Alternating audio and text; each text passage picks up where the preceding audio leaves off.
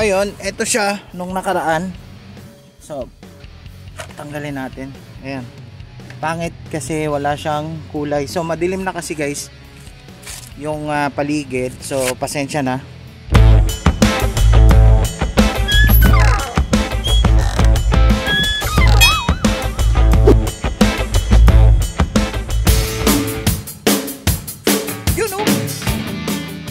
Is up mga bay, mga day? Kumusta na kayo dyan? Kumusta na mo diha? And you guys, how are you doing? Nakita na naman ninyo ang aking pagmumuka. So, ayun guys, uh, ang hapon na to, ang ating gagawin na naman ay yung pagpipintura ng ating rim. Etong steel rim natin na ginagamit dun sa kotse.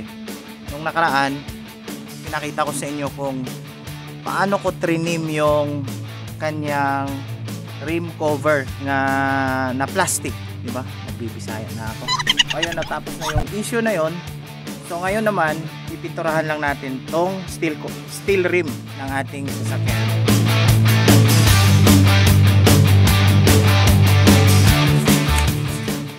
So ayan guys, natanggal na natin ang gulong. Bago natin pinturahan, lilihaan muna natin. So, tara let's. ang gagamitin natin liha ay para sa pneumatic um, uh, sander to. Kahit ano naman pwede. Kahit na yung ordinaryong uh, sandpaper or eto. As long na matanggal tong mga kalawang dito. Yan yan. Kailangan nating tanggalin yan kahit papano para malinis naman siya at didikit ng wasto ang ating spray na gagamitin. So ayan guys Basta importante mawala lang yung mga first degree na kalawang ano.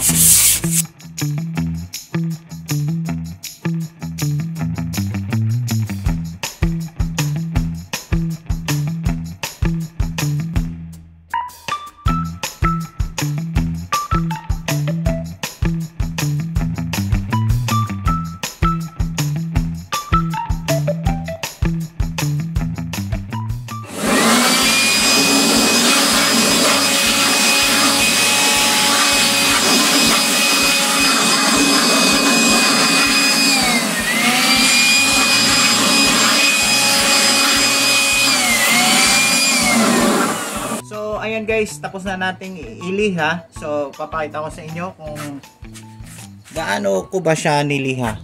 So, ayan. So, konting alis lang mga kalawa nga yung sabi ko. So, so ayun guys.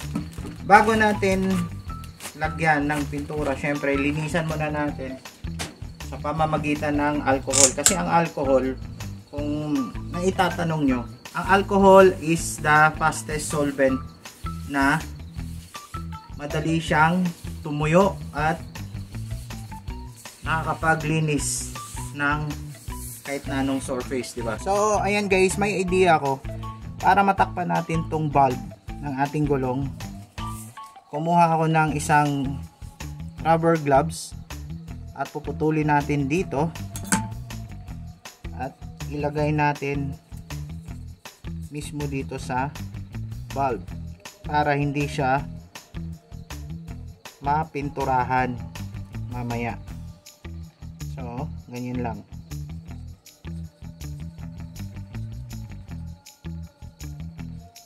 oh, di ba ang yung pinaka special part para ma hindi masali ang ating gulong na mapinturahan. Sa Pilipinas, ang tawag nito ay index card. Sa atin sa Pilipinas ay parang nakabundle siya. So dito sa Saudi Arabia, para siyang notebook. Mga 4 real lang yata to or 3 real. Pipilasin natin isa-isa kasi napipila siya. Ganyan. At ilagay natin dito sa gilid ng gulong. So hahatiin na lang natin para magkasya siya.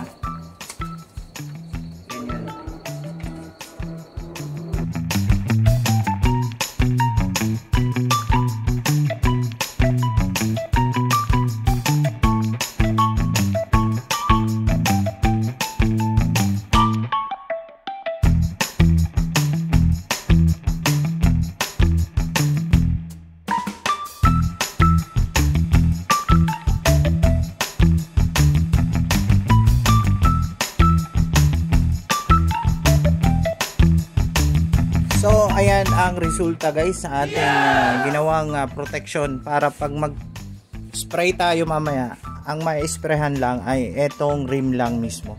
So, hindi na masasali itong valve natin kasi nilagyan na natin ng piece of rubber gloves. Okay?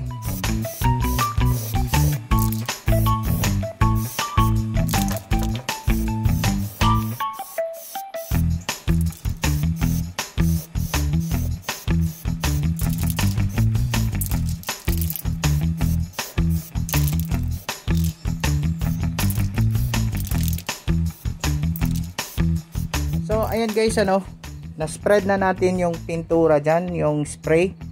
So, pag nag-spray ka, kahit na hindi naman perfect, kasi eto, pagka naikabit natin, may cover naman siya. So, ang importante, mapipreserve mo yung rim mo, at yung sa background niya sa loob, yung parang accent ng inyong rim ay kakulay ng doon sa cover na inilagay natin dito, 'di ba?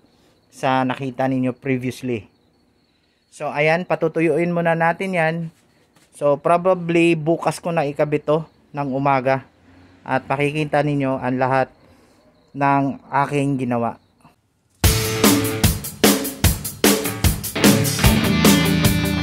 So, ayan guys, uh, yan ang itsura ngayon nung uh, pininturahan natin. So, ito, lalagyan pa naman natin ng cover yan. Yung rim natin. Syempre ang ina-avoid lang natin dyan yung corrosion. May accent tayo kahit konti doon sa loob ng plastic cover na ating ilalagay. So ilagay natin yung plastic cover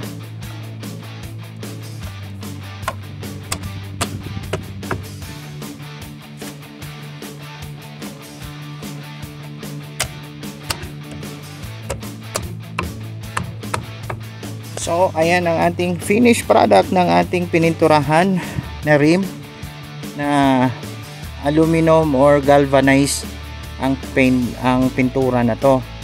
Galvanized ang pintura na to at aluminum ang color ng ating plastic cover dito sa gulong. So, kasama na rin yung sa kabila. So, ayan ang naging resulta sa ating ginawa. So hanggang dito na lang at huwag niyo sanang kalimutan mag-subscribe sa aking channel para updated kayo sa mga susunod ko na mga video. At lagi niyong tandaan, just only love mga bye mga tay. So see you on my next vlog.